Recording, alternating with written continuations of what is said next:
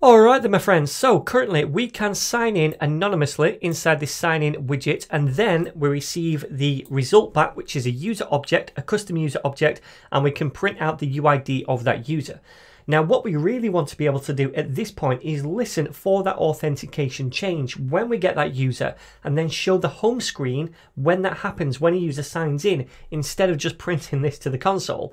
So then in the future, if they then sign out, we can also listen for that authentication change and then we can show them the sign-in screen again.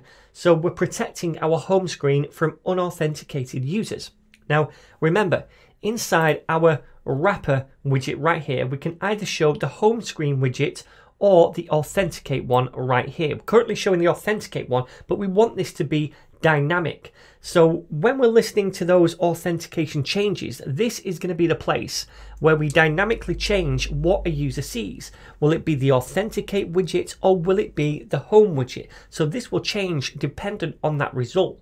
So First of all, we need to be able to actually listen to those authentication changes. And to do that, we'll be using a stream. So then what is a stream? A stream is pretty much what it says it is. It's a stream. So you can think of it as like a real live stream that travels from one place A to another point B. And on that stream, you could place something at the source, which would ultimately then travel to the destination along the stream. So imagine that you wanted to, say, transport 50 rubber ducks from the source to the destination, but you also had to pack each duck inside a box first of all. So what you could do is you could box up all of the ducks first and stockpile them and then send them all in one go when they're all boxed up together. But that would mean waiting a significant amount of time over here before you get anything at all because you have to wait for them all to be boxed up. Now, the good thing about streams is that we wouldn't have to wait for everything to be boxed up first of all. Each duck could be sent along the stream as it was boxed up, meaning that at the source we'd have a constant income of boxed ducks as they're being made.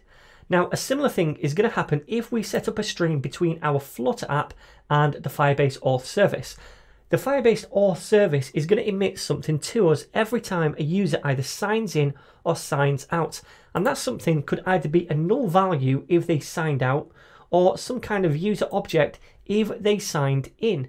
So our Flutter app is going to be able to receive those event objects when they happen and determine based on the value inside of them whether they're a user object or null, whether a user is logged in or logged out. And at that moment, we want to update our UI appropriately. Now, the Firebase Auth service has a stream built into it that we can listen to by invoking a function called onAuthChanged. So we're going to take a look at that now and set it up inside our auth service class. Okay then, so we want to set up this stream which is going to detect authentication changes and we want to do that inside our auth service class right here. Now I'm going to do it above this sign in anon function and I'm going to create a little comment to say what this is and it's just auth change user stream. So let's set up this stream. First of all, it's a type stream and the data that we're going to be getting back from this stream is going to be a Firebase user. That's what it's a stream of, okay? Because when a user signs in, they're going to send us a Firebase user back. Now it's a getter, so we'll use the get keyword and we'll call this user, but you can call it what you will.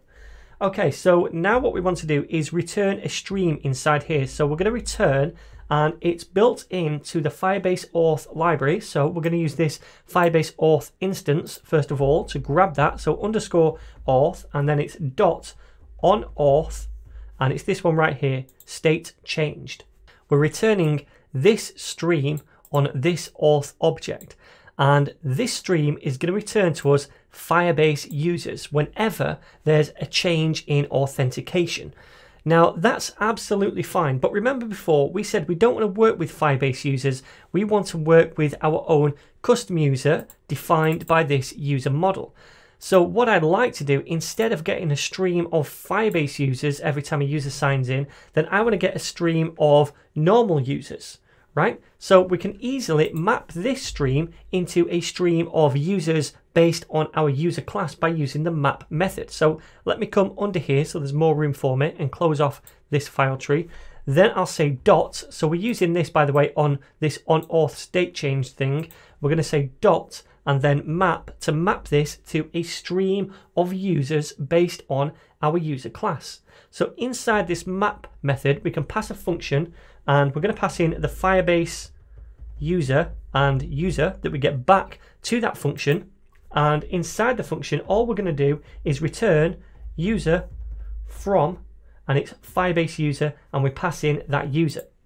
So now every time we get back a Firebase user inside this stream, we're going to map that to a normal user based on our user class. Now, right now, we're getting a red line here because it's saying the return type is different. We're not now returning a Firebase user in the stream, we're returning a normal user based on our user class. So we can just delete this thing right here and type user, oops, user like that instead. And now that red line goes away.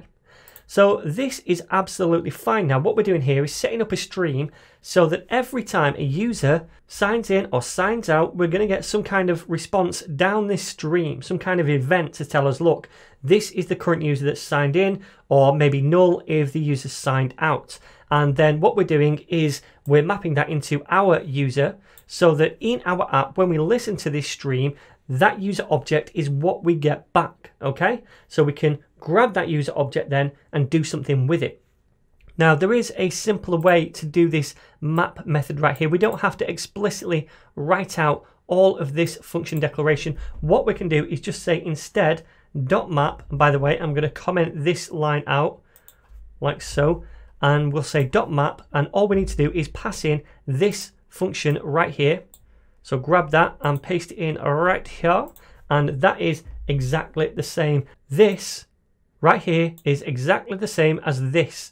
This functionality is implied. So it passes the user that we get back down the stream into this function right here and it does the same thing. So let me delete that middle line and now we have our stream set up. So now when we use this, we'll be setting up a stream listening for auth changes. Whenever an auth change occurs, we get back a value in this stream. That value is either going to be a user object based on our user class, if the auth change was the user signing in, or it will be a null value if the user signs out. And by the way, you don't have to use a custom user class if you prefer to use the generic Firebase user object. I just like to abstract away from the Firebase user to create a user object more suited to what I need in my app. But anyway, now that we've set this up in the auth service, we need a way to access it in our root widget so that it can know whether a user is logged in or not. And we're going to see how to do that in the next lesson.